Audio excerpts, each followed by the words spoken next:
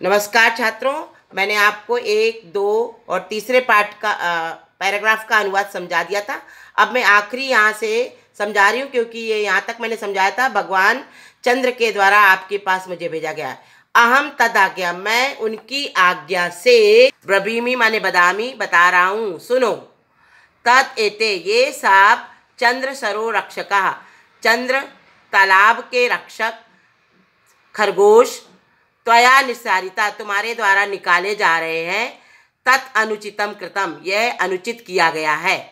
ते शशका चिरम मया रक्षिता। और ये खरगोश वे सब खरगोश मेरे द्वारा रक्षित किए गए हैं। अर्थात मेरे द्वारा इनकी रक्षा की जा रही है। अतएव में शशांका इति प्रसिद्धम। इसीलिए मैं शशांक नाम से प्रसिद्ध हूँ। मे, मेरी आज्ञा से तालाब से दूर जाओ, अन्यथा विनाश होगा।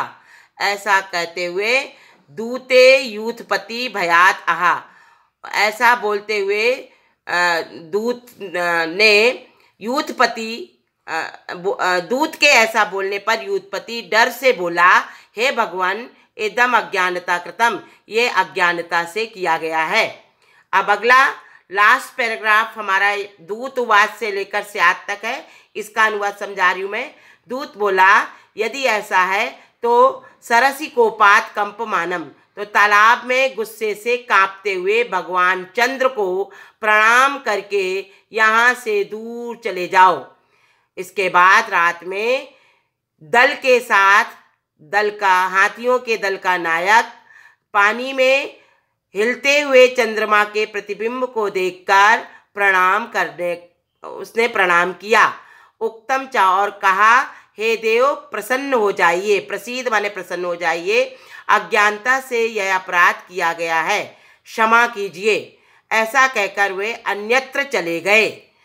खुशी होकर खरगोश नाचने लगे, और वृद्धम, शशकम, सिलिमुखम और बूढ़े खरगोश सिलीमुख को धन्यवाद करते हुए बोले, व्यपदे से अपी सिद्धि स्यात। यानी संकट में भी सफलता होती है, यदि बुद्धि से काम लिया जाए। बच्चों, ये आपका अनुवाद हुआ। अब मैं इन्हीं पैराग्राफ से संबंधित आपको संधि विच्छेद दे रही हूँ करने के लिए। ये संधि विच्छेद और प्रत्यय वाले शब्द हैं। इन्हें आपको करना है। और इसके बाद इसके बाद मैं आपको इसी पाठ से संबंधित विशेषण, विशेष और पर्यायवाची शब्द भी लिख कर ये दे रही हूँ। आपको कॉपी में ये सब लिखना है।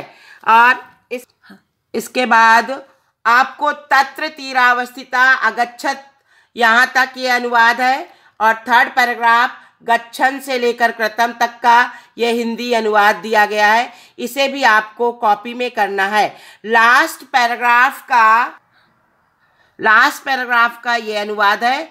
ये सारा काम आपको कॉपी में करना है। धन्यवाद।